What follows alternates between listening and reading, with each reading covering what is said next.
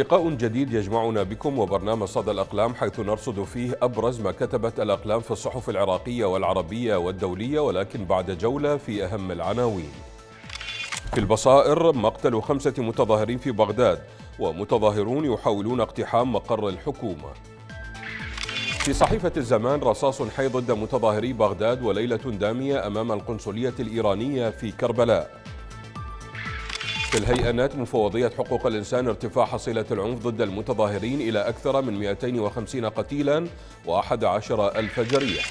في صحيفة المدى توسع رقعة قطع الطرق في بغداد والبصرة تهدد المحتجين بأربعة إرهاب. في اندبندنت عربية تزايد عدد المتظاهرين في بغداد في تحدي واضح لحظر التجول.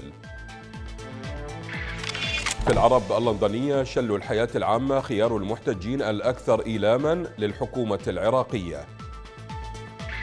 وفي القدس العربي مرصد نت بلوكس انقطاع خدمات الإنترنت في بغداد ومعظم أنحاء العراق.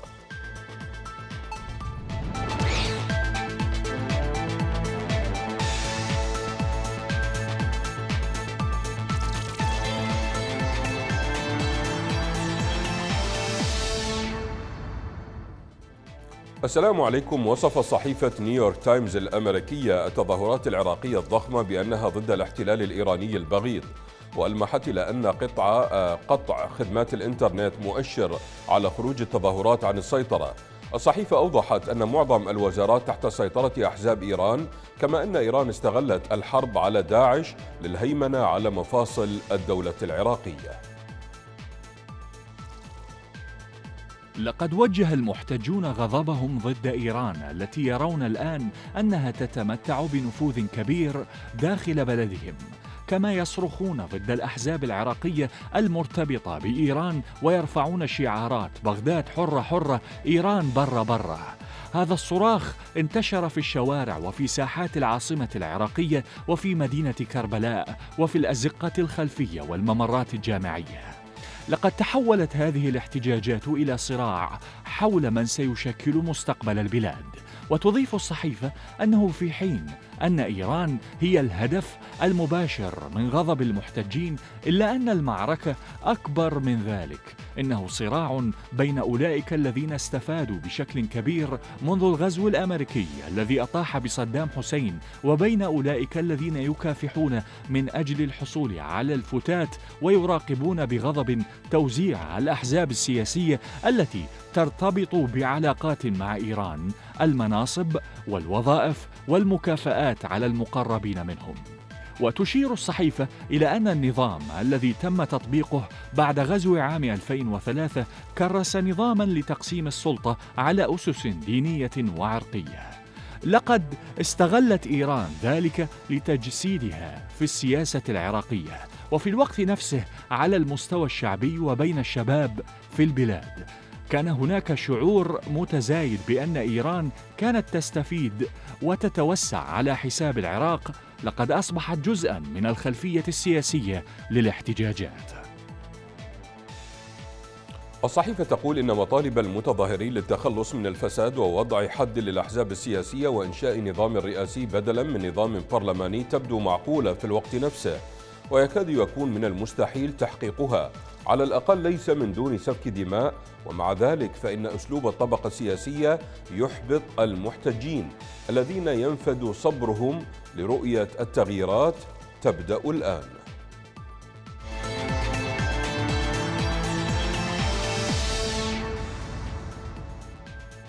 محاولة تغيير معادلة التاريخ استنادا إلى وقائع مرت عليها قرون طويلة لا يمكن أن تتحقق لمجرد رغبات جماعات سياسية تعمل باتجاه معاكس لزخم حركة التاريخ نحو المستقبل.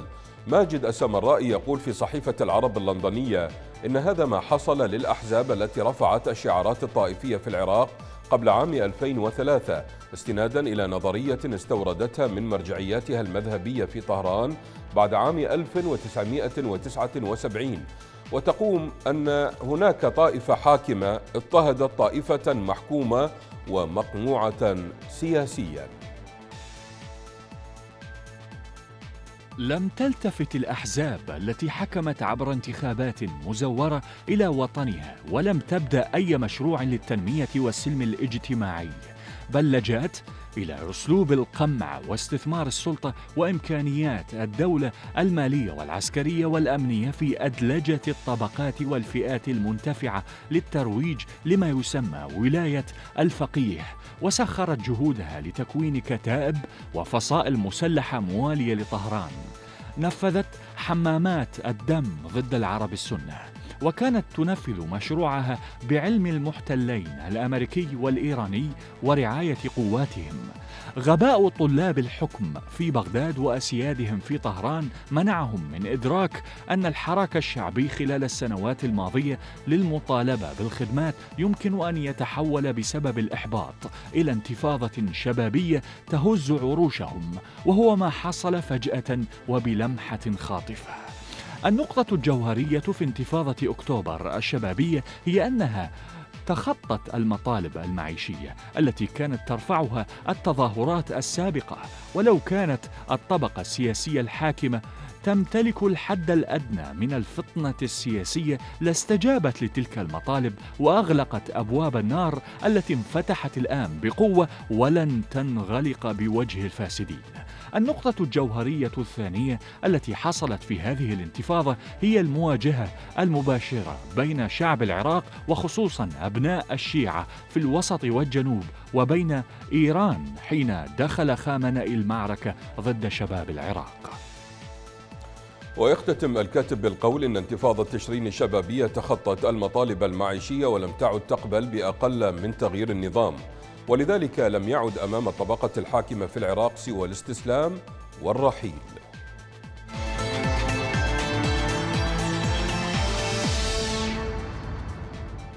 توضح مجموعة من الإشارات التي سجلت في العراق مؤخرا إلى اتخاذ الاحتجاجات الشعبية الواسعة فيها طابعا وطنيا متزايدا بحيث تجاوزت هذه الاحتجاجات في مطالبها نقد الشبكة الواسعة من الفساد السياسي والمالي. والقمع ضد المتظاهرين بل وحتى إسقاط النظام إلى انتقاد التدخل الإيراني في العراق واعتباره المسؤول عن هذا النظام هذا ما أشارت إليه صحيفة القدس العربي في افتتاحيتها التي جاءت تحت عنوان هل هذه حرب الاستقلال الثاني للعراق؟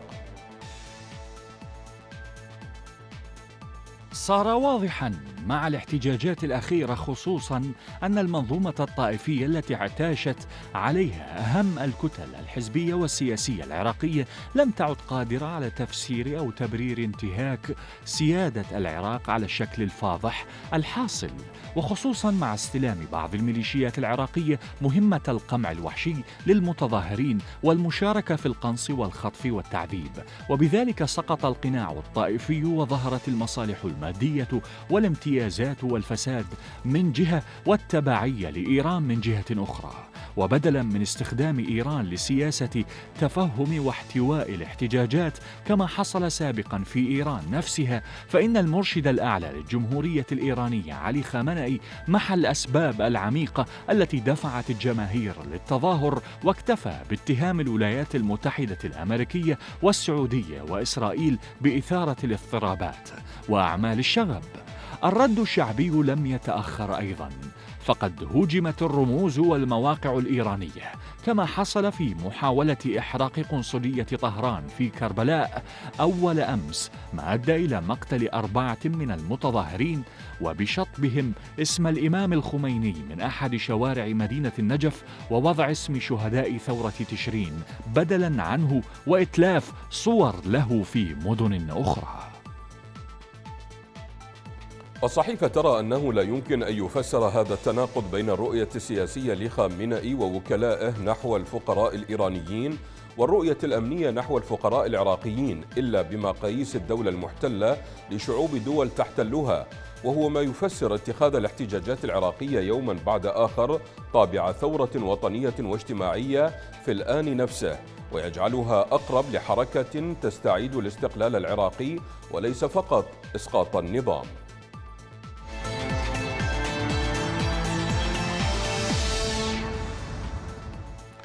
أحمد صبري يرى في صحيفة الوطن العمانية أنه على الرغم من أن المسؤول الذي أوصل العراق إلى هذا الحد من التداعي والانحطاط والفشل والانهيار معروف للجميع إلا أن منتج هذا الاحتلال أي العملية السياسية أضاف أحمالا جديدة على كاهل العراقيين جراء تسيد طبقة سياسية على العراق حولته إلى بلد مستباح مسلوب الإرادة. مرتكز على نظام المحاصصة الطائفية الذي حمى سراق المال العام من المساءلة. تداعيات السنوات العجاف وتراكم الخيبات والنكبات والكوارث على مدى تلك السنوات هي التي عجلت وفجرت الانتفاضة الشعبية التي هزت أركان النظام السياسي وحلفائه. وكشفته على حقيقته منهارا وغير قادر على مواجهة المد الشعبي المتصاعد ومطالبه المشروعه التي صادرها النظام. إن ما يجري في ميادين وساحات العراق هو ثورة شعبية على الظلم والاستبداد والفشل يستوجب من المسؤول الذي تسبب في الحال الذي وصل إليه العراق أن يرفع يده عن نظام غير مقبول شعبيا. وما يعزز هذا الخيار. الرفض الشعبي للنظام السياسي لا سيما من جمهوره الذي أوصل رموزه إلى سدة الحكم.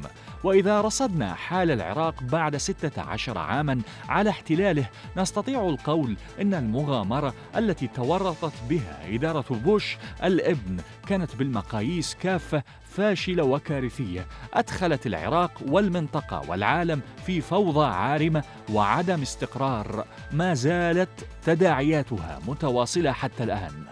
إذا من هو الخاسر الأكبر في عملية غزو العراق؟ واحتلاله. بالتأكيد هو العراق بكل ألوانه وطوائفه لأن الاحتلال أنتج نظاما سياسيا هجينا ليس له علاقة بحاجات وتطلعات العراقيين بوطن تسوده الحرية والديمقراطية والعدالة الاجتماعية وخال من إرهاصات الثأر والانتقام والاحتراب الطائفي. وبحسب الكاتب فإن هذه الأسباب وغيرها هي التي فجرت الانتفاضة الشعبية كرد فعل على فشل المشروع الأمريكي ومنتجه النظام السياسي وخيباته وفشله في شتى الميادين.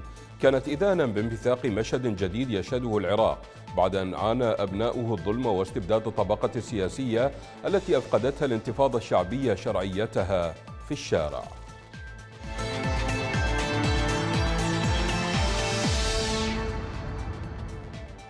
في بغداد رفع المتظاهرون العراقيون شعار شلع قلع وهو يعني اجتثاث السلطة القائمة في المنطقة الخضراء. وفي بيروت رفع المتظاهرون اللبنانيون شعار كل يعني كل أي إسقاط السلطة القائمة كلها.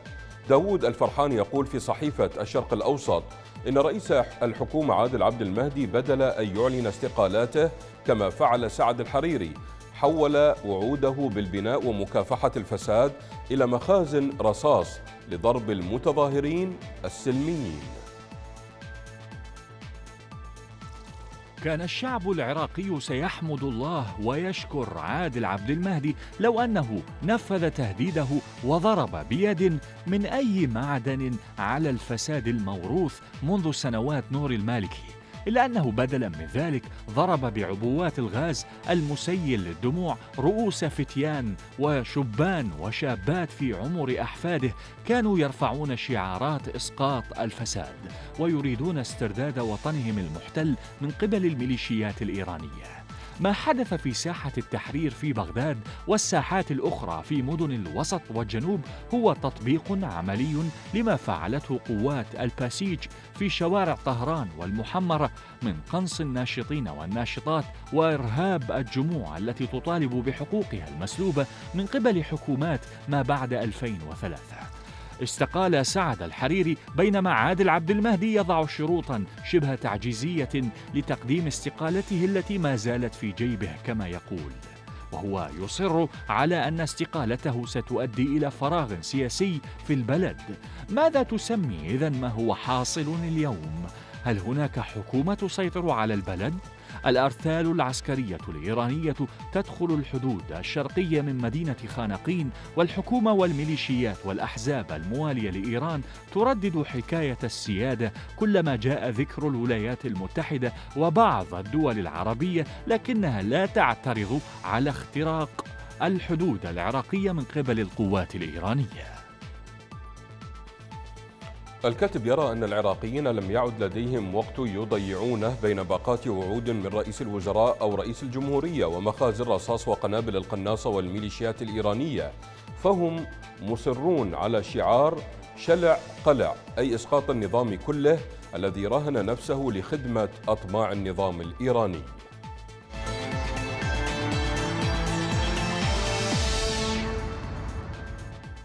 نشرت صحيفة فاينانشال تايمز البريطانية تقريرا لمراسلتها تشولي كورنيش تقول فيه إن المتظاهرين في العالم العربي لم يعودوا يطالبون بتغيير الحكومات لكن بالنظام القائم. متسائلة إن كانوا يستطيعون ذلك. ويشير التقرير إلى أن المحتجين في لبنان والعراق الذين خرجوا بقوة كبيرة يسعون لتحقيق هدف مهم وهو تغيير النظام بأكمله. يلفت التقرير إلى أن المحللين والمحتجين يقولون اليوم أن هذه الأنظمة القائمة على المحاصصة الطائفية أصبحت فاسدة مع الأحزاب السياسية التي عززت قوتها بحيث منعت نشوء حكومات فاعلة وأحبطت المواطنين الذين يطالبون بمستويات حياة جيدة وتنوه الكاتبة إلى أن المتظاهرين خاصة الشباب المحرومين الذين لم يجربوا النزاعات السابقة. نفثوا غضبهم على الأحزاب الطائفية التي سمح لها بمواصلة السيطرة على السلطة ونهب مصادر الدولة دون القيام بأي جهد لتمثيل مصالحهم. وتقول الصحيفة أنه في كلا البلدين يتم تخصيص الوظائف للطائفة التي تخترق الوزارات والخدمة المدنية بحيث يتفوق فيها الولاء للحزب على الكفاءة. مشيرة إلى أن المحتجين يقولون إن النخبة السياسية الطائفية الحرفية استطاعت من خلال هذا النظام تقسيم مصادر الدولة ومأسسة الفساد. وتنقل الصحيفة عن مدير معهد المشرق للدراسات الاستراتيجية في بيروت سامي نادر قوله إن الحكومات في العراق ولبنان عملت بصفتها. كارتل؟ من الأحزاب التي مثلت الجماعات الطائفية وفي كلتا الحالتين كانت فاسدة.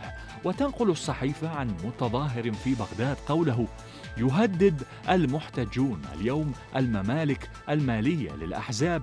يريد الناس حكومة للشعب وهذا يهدد الأحزاب التي لن تكون قادرة على السرقة. وتختتم فاينانشال تايمز تقريرها بالتنويه إلى أن المتظاهرين في لبنان والعراق يطالبون بقوانين انتخابات جديدة. مستدركة, مستدركة بأن المحتجين يعرفون أن أمامهم معركة طويلة مع نخبة سياسية راغبة في الحفاظ على هذا النظام السياسي.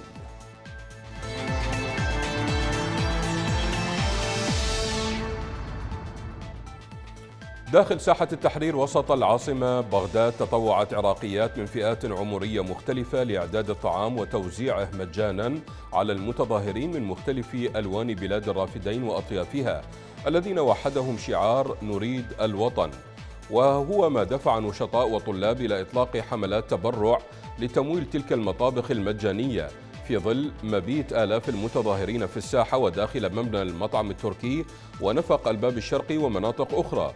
وبشكل تطوعي بادرت أمهات المتظاهرين وأخواتهم وغيرهن بالقيام بالمهمة سواء من خلال جلب الطعام من بيوتهن أو إعداده داخل الساحة وتوزيعه مجانا على الجميع في وجبتين رئيسيتين صباحا وبعد العصر. بينما تخللها وجبات سريعة أو ما يعرف في العراق باللفات مثل الفلافل والشاورما. حضور النساء أساس وبارز في التظاهرات التي تشهدها ساحة التحرير وسط العاصمة بغداد. فقد اعتمد الرجال على الدعم اللوجستي من خلال النساء بالإضافة إلى دور المرأة في الاحتجاج وتعبيرها عن مواقفها وآرائها.